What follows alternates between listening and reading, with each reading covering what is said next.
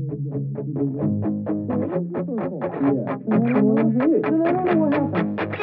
not sure. I don't know either. Anyway, it's recording right now, right? Sounds flat? Yeah. Get out. Recording now. Come on, Dave. Come on. Let's go.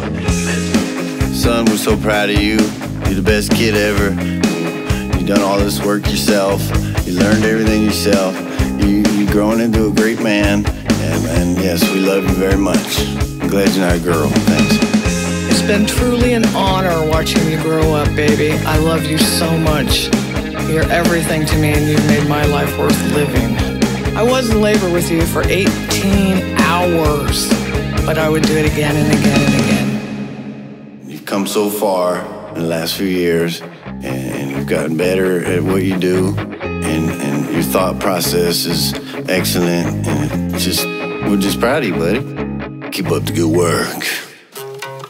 Mm-hmm.